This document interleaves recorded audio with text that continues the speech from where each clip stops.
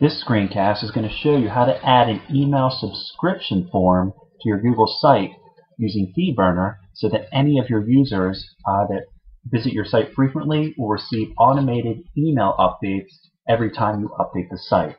Uh, here's my site, home at itrt.com. Under Connect, you can see I have a subscribe button. If users click on that subscribe button, they can put in their email address,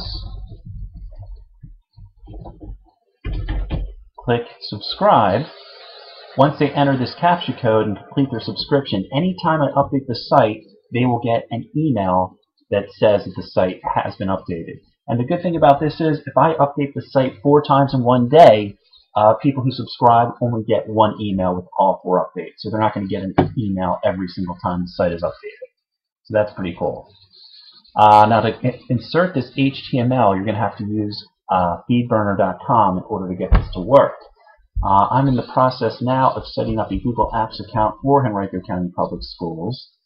And in order for it to work, you need to have the announcement template set up on your Google site. So if I click here where it says latest news and updates, you can see I have an announcement template that I set up because I have my subscribe to post feature. I also have this new post button. Now, if you don't have your announcement template set up on your Google site for one of your pages, you can do that by clicking on More, Change Page Template, and then selecting Announcements from this drop-down menu. By default, it's going to say Web Page. You're going to select Announcements and click Change. But I've already set that up as an announcement. Once again, I know that because I've subscribed to Post and I have new posts. So let's go ahead and go to feedburner.com, F-E-E-D-B-U-R-N-E-R.com. You're going to want to set up an account if you haven't done so already. And once you set up that account, it's going to give you the option to burn a feed right this instant. So I'm going to go back to my blog here, click on subscribe to post. It's going to give you this weird looking gobbledygook, but all we care about is the URL on the top. So I'm going to copy that, go back to FeedBurner, and paste it where it says burn a feed right now. Now Google Sites goes by HTTPS. Um, FeedBurner has issues with that, so delete the S and just have HTTP, or else it won't work. Then click Next. It then wants to give it wants a feed title, so we'll call this HCPS GAF website. And then the feed address is going to be feeds.feedburner.com backslash whatever you want it to be. So we'll call it HCPS GAF. Click Next. It says, congrats, your FeedBurner feed is now live. Do you want to dress it up a little? I don't care. So I'm going to click Next. I'm going to click Next. There we go. So now, if I go to my actual feed, by clicking on that little RSS icon, I've got nothing there right now. It's just blank because I haven't posted anything.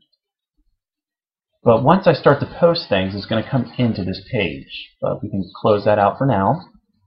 And I want to click on where it says Publicize. Publicize. And we've got the email subscription feature. So I'm going to click there. By default, it's not activated, so I'm going to click Activate. And that is where I'm going to get my code in order to insert this onto my site. So you can see right here, I've got different options to insert it. I've got a preview subscription link. What you want to do is copy the form style right here. So copy all that, right click copy, go back to your original blog, you're going to click on the pencil icon, click on my HTML snippet, and paste that right there, click update, click save, and you can see right now, people just have to enter their email address and click on subscribe in order to get those email updates.